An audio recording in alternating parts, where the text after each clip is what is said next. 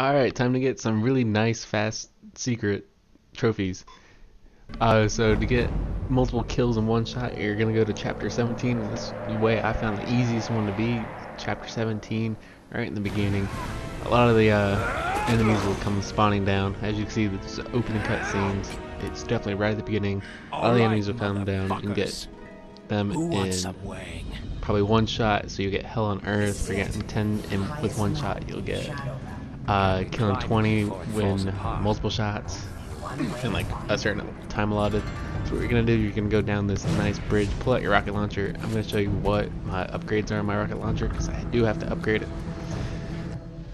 So I am gonna save my game just to make sure that I get it. If you don't get it, I definitely recommend saving your game in order to you to reload your game to not get it. So I'm gonna go over to my rocket launcher. I'm gonna buy the heavy warheads, I, I believe.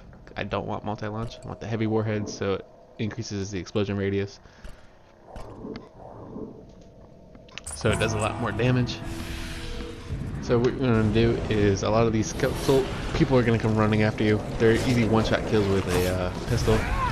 I just like shot them down on the ground, but you can easily just keep running around them. But they'll start to group up. Uh, remember to heal yourself if you have that ability? You most likely will. It's chapter 17. Uh, a lot of abilities.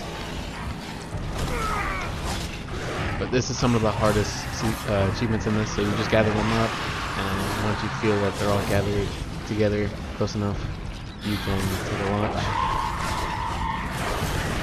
with the rocket launcher and kill challenges. And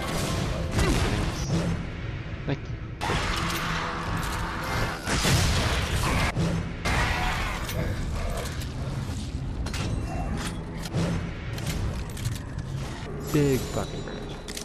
And at the end of the bridge is a place for all your secrets.